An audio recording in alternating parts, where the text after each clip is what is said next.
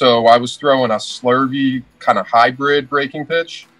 I'm trying to throw a slider and a curveball now. So I used to be up on the seam here. I'll kind of manipulate it. A slider, I'll try to get that side spin curveball. I'll try to get in front of it a little bit more, but they would kind of just mesh together. So what I'm doing now is for the slider, I'm sliding up on the seam and I'm trying to get more backspin on it. Right. And that's been the more successful one so far. The one that's taken a little bit more time than it used to is a spike curveball here.